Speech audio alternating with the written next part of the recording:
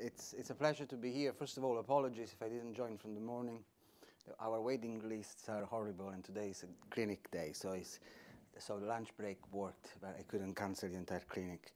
Um, okay, so musculoskeletal conditions. There are here, these are data for public health England, and musculoskeletal conditions are a growing problem in UK, like in the rest of the world. The reason is that there is a good part of musculoskeletal condition, you will see that they are directly linked to age. And so there is a growing need of stratifying approaches to improve musculoskeletal health in the aging population.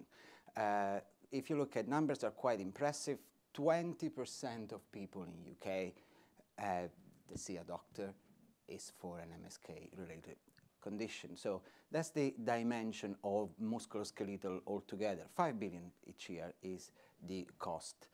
Now, musculoskeletal condition, besides the access to GP and besides the sheer cost, are also a major driver of disability.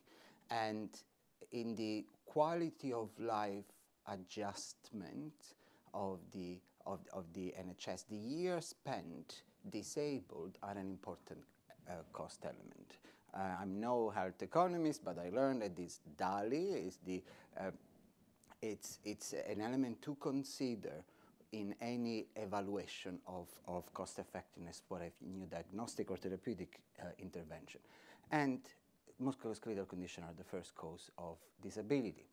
Now, this is the breakdown of musculoskeletal. We call them MSK, uh, but they're a very heterogeneous group of conditions. 90%, which is all the pie chart, uh, I don't have a pointer here, but it's all the pie chart with that is not exploded, are not inflammatory. And, and, and they're 90% of these 20 million, yeah, um, people.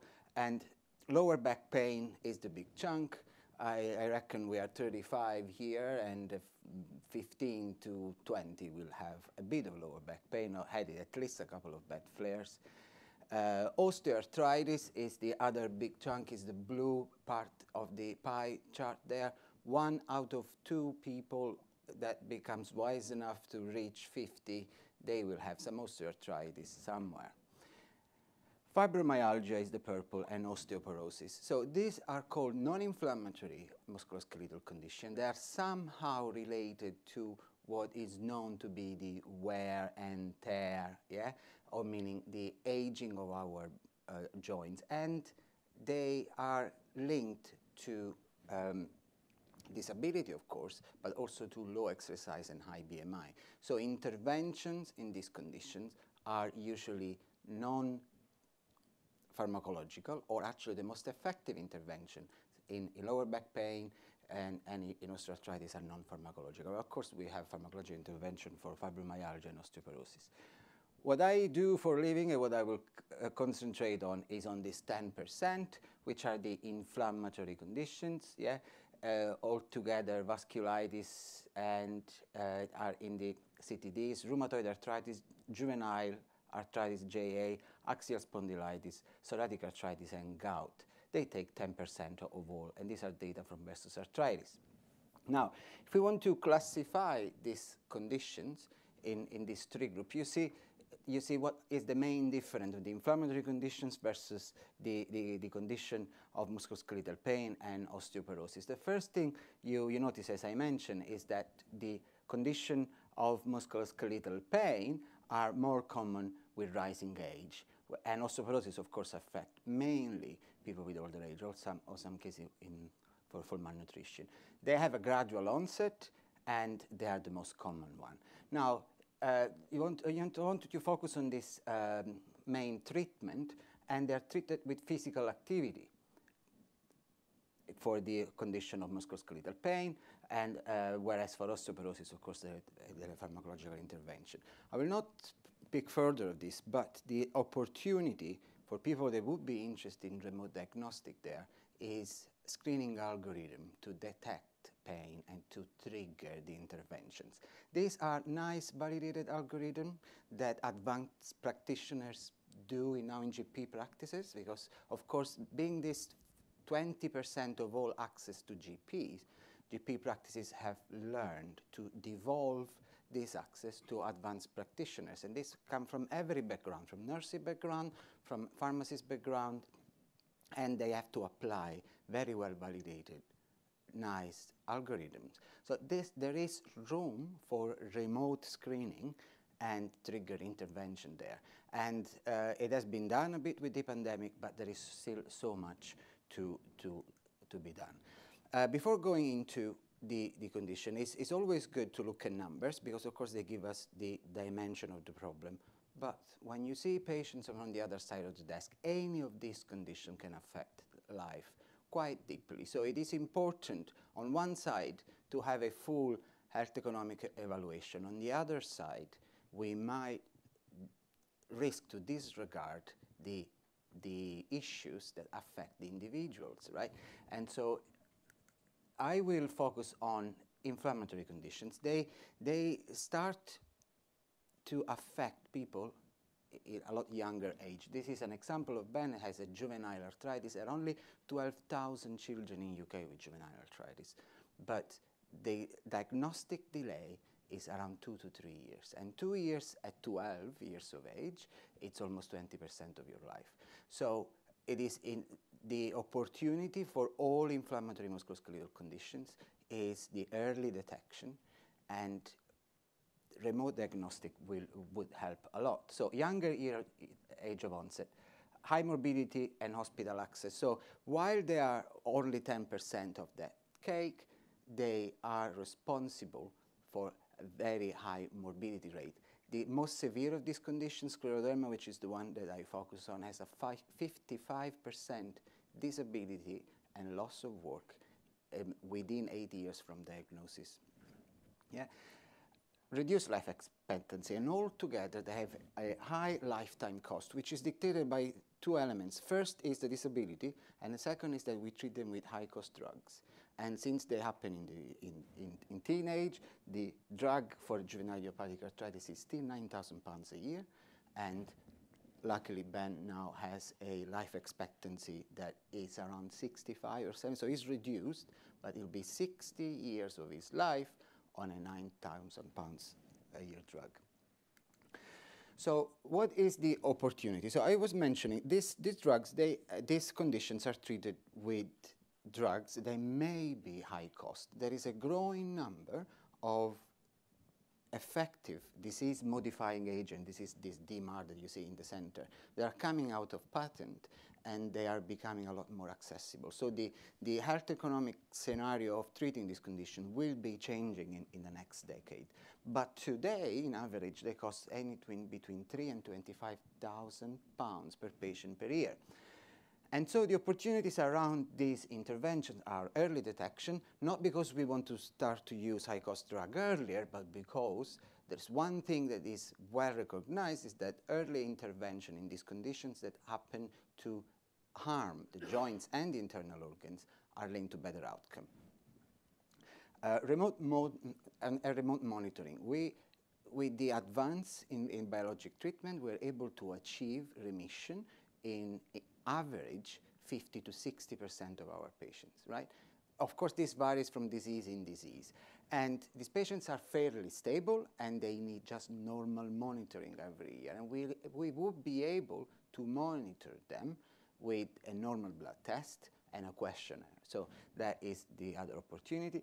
And uh, detection of non-response of high-cost drugs today, I was saying 60% of patients re reach a remission in average, but there is a 20% of patients that doesn't respond.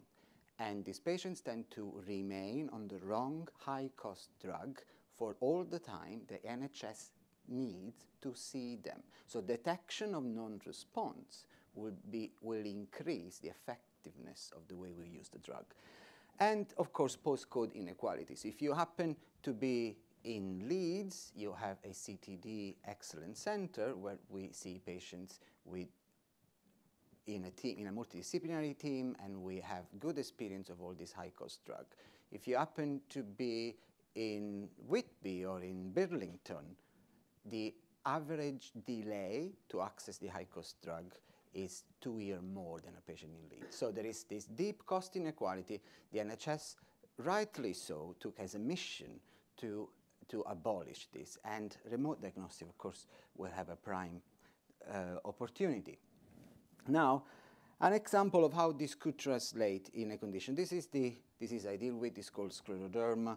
Uh, we don't need to go into detail of the disease, but in this disease continuum, you see, in, in the bottom you see time. Patients start with a very common symptom, it's called Raynaud, and then eventually, thanks to some biomarkers, uh, ATA and ACA, we can do an early detection of these patients. And then there is a group of patients that will go more in the top here, in the red, and it, it, it will have a prevalently fibrotic damage, and this patient have bad skin and bad lung fibrosis, and a group of patients that has a different type of damage, vascular damage, and they have different drugs that we use, and they eventually will, will have high risk of developing PAH. Altogether, the, the life expectancy of these patients is reduced by 25% compared to, to, to the, the general population. And patients with the diffuse, they have only a 60% uh, chance of surviving 10 years of diagnosis. Yeah, so it is a severe condition.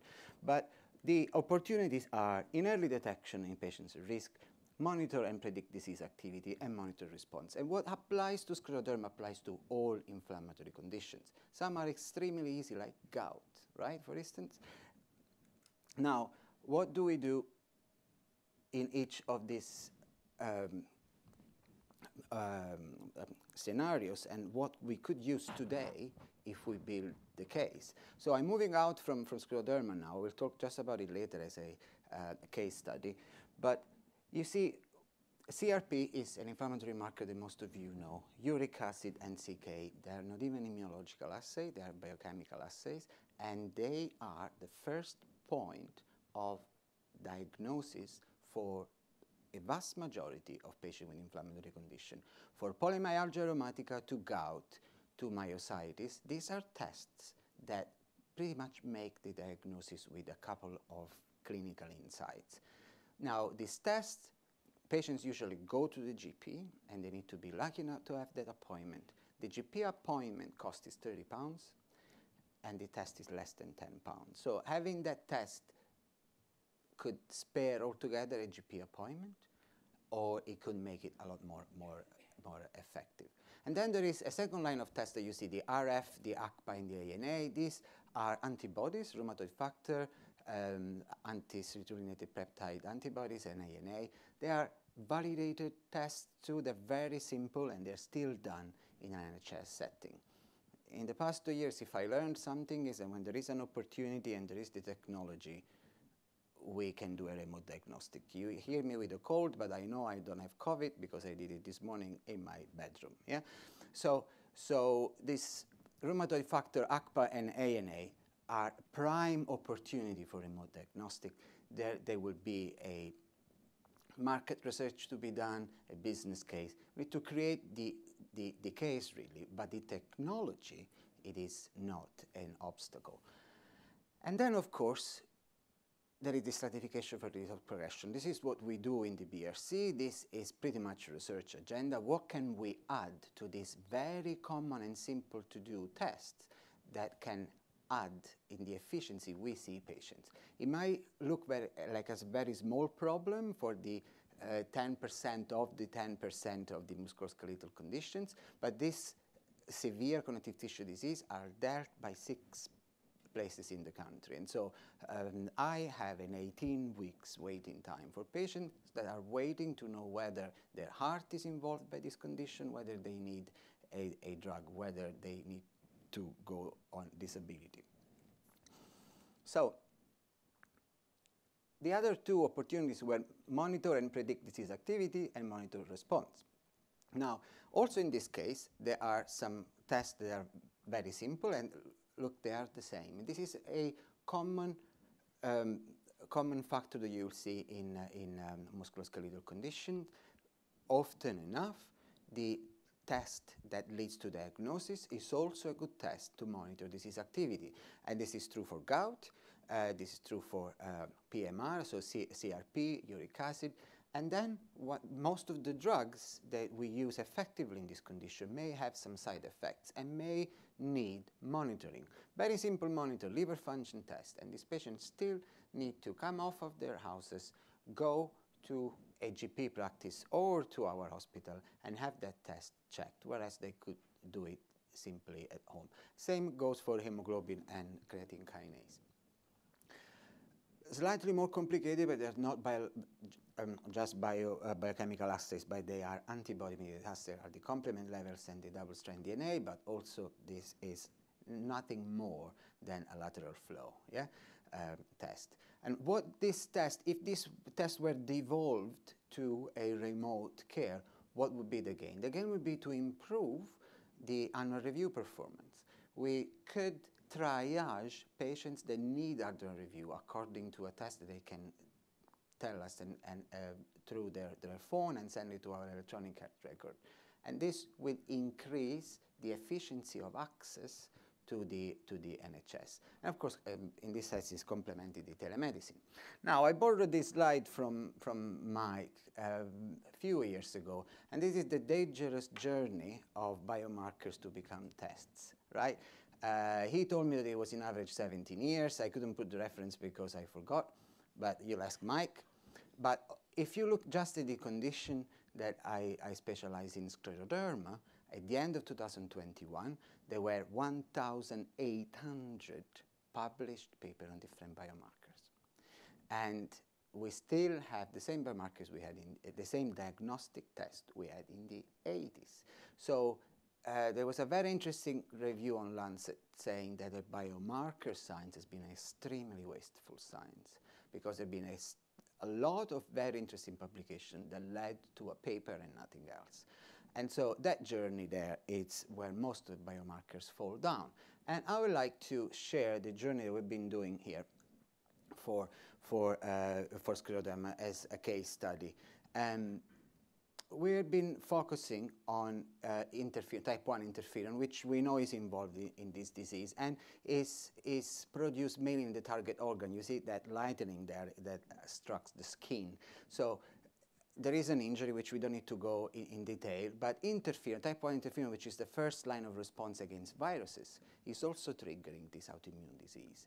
And of course, we measure interferon through the genes uh, that are um, induced by interferon in the skin. Some of these are for soluble proteins that then go in the blood, and we can measure those proteins in the blood.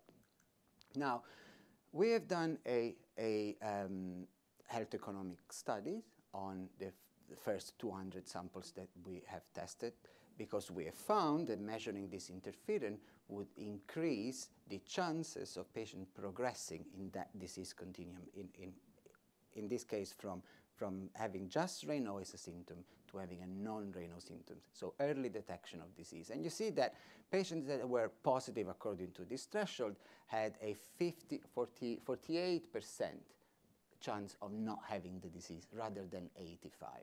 So we've done, oh, this is a video. If you can click on it and, and make it start. This is the, the case study we, we've done it a while ago. There you go.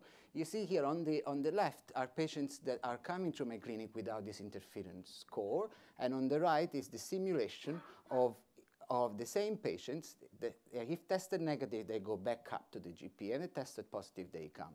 So you see that the, the waiting list would be reduced, the number of, of visits they need to do to be diagnosed is reduced, and altogether, less patients will go back at the end of the three-year journey to the GP without diagnosis. So if you count all of that, how many appointments would be saved against the cost of the study?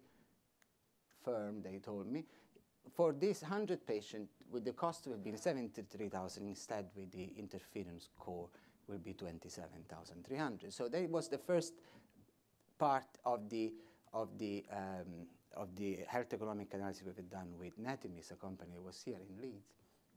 Now, of course, since then we measure interferon score a lot. Uh, we have almost 800 patients now, and we're looking at how this is changing over time.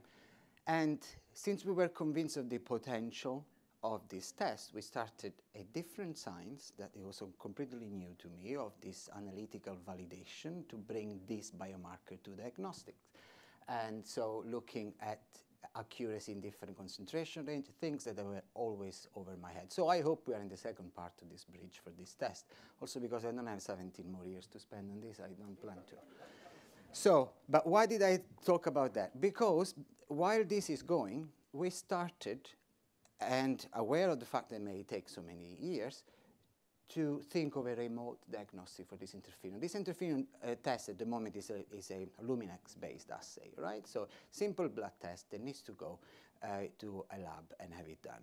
But when we did the, the, the first uh, meeting with patients, they say, very good. Let's say that this becomes a test. You can measure it every six months or every year, and uh, you might miss a lot of what's happening in between. You know, today I feel bad. I called the the helpline. I, I'm called back in 48 hours, and then you and they, I tell, this is from the patients, right? They told us, if I feel bad today and I call the helpline, I receive a call, call uh, full call back in 48 hours. They, they talk with me and they realize they need to speak with you, doctor. And so then you call me back after three or four days and some of my symptoms are gone and, and some have been worsened and then you book me for an appointment and then it's 12 weeks and then I have this interferon score test. Doesn't make sense. If you want to do it right, do it that I can measure it all the time.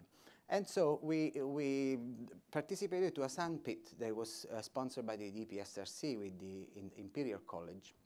And we received this grant to have a um, diagnostic that is based on microneedles, and that's the fly there. Yeah, that's the mosquito.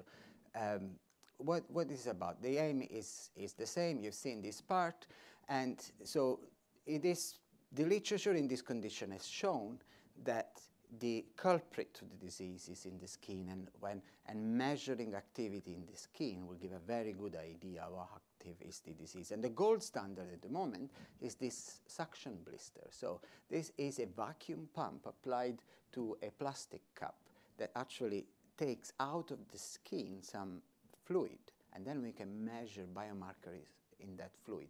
And when we look at these biomarkers, these are extremely important and they correlate very well with the rest of disease activity, proving that the skin is really the, the, the, the place where this, this condition is, is, is brewed.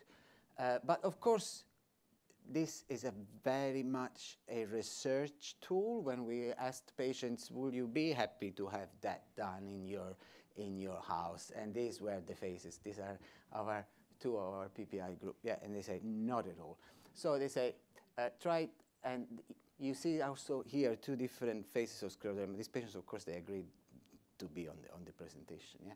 Uh, on, on, on, the left, there is a young lady that you can see her, her teeth coming out because scleroderma has shrunk her, her lips, and the same thing is happening to her lungs and to her gut. On the, on the other side is a benign, mild scleroderma. This lady has been affected for 30 years with a bit of arthritis and some uh, gastrointestinal involvement, but not much. So there is a huge heterogeneity in this disease. And of course, when we involve patients, we try to take both ends of the spectrum. So that was the project. We are starting to do this, this um, on microneedle now. We have four different models that are testing. And the project in this case, it's, oh, of course they say, if, if this was, uh, they wanted to know what is microneedle, because of course when you talk with patients, and that's another important point, it is great that we engage with patients, but sometimes it is also crucial the, type, the way we convey the message. Because uh, this scientist at Imperial had the idea of a mosquito. And patients said, I hate mosquitoes. And I said, yes. I said, well, what I'm trying to say about the mosquito is that the needle that you get for a blood test it is 26 gauge, and the needle that is in the mosquito, which we will do in this microneedle, it is uh, 480. So look how small or smaller it is, you will not feel it. Ah, but don't call it mosquito because mosquitoes are annoying. And so if you record that feedback in the PPI engagement, they, you can sync the entire project. So it is important to convey the right message and also to filter the feedback. Yeah, the feedback was not how, how big is the needle, but because mosquitoes don't make me smile. They were saying. Okay, so um, what is the project at the moment? Uh, so these microneedles, we have three different types, and they are tested on skin that we take from surgical flaps, and we load this skin with these biomarkers artificially, and we measure how, which of these models can, can pick up this, this uh, biomarker in the most accurate way. And then, of course, the second part is to compare it on real skin biopsies.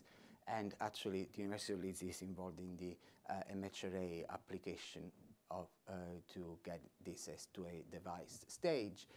But to say that when you really want to do something new, that, that's where the 17 years are, are from. This started three years ago, and hopefully I will see it before I retire. But anyway, so the, the purpose, of course, is that with a continuous monitoring, and this is actually how the, the microneedle looks like. Yeah, it's, it's very small and is also attached to a sensor and a chip that transmits to an app. Okay, and so you can monitor activity, you can decide whether the drug is working, you can decide whether that flare is because of scleroderma or is because of any other reason, right? And this is important at many levels, not only for patient management, but also for research. Uh, I'm just back from Glasgow where I got this bad cold, where there was the British Society of Rheumatology, and the Heberden oration, which is the big oration that uh, is, is done since Dr. Heberden, how would uh, uh, describe arthritis, yeah, osteoarthritis, um, founded the BSR, it was about genetics. And the, the burden of correlating genetics with disease activity today is because we cannot measure disease activity. And so a flare that is reported by a patient, we consider it a flare, but it might be not. It might be, uh, today if you measure my interferon, might be high because I have a cold. And, and so accurate detection of the disease process that is leading to the symptom, it will be not only useful for patient management, but will inform a more accurate research. So that is the other two. Most important slide, this is the scleroderma program. The uh, in, in Leeds. Uh, it's been grown since Mike was here. Uh, Becky Ross at the top left is the one that is working now with, with, with Charlotte and, um, and uh, to progress the interferon score to a diagnostic. The clinical trial coordinators are in the, in, in the bottom. The clinical fellows doing the analysis are in the top, Enrico and Ranjita there. And this is the funding. And I don't know how much I went over time, but if you wanted any question, I'm here. Thank you.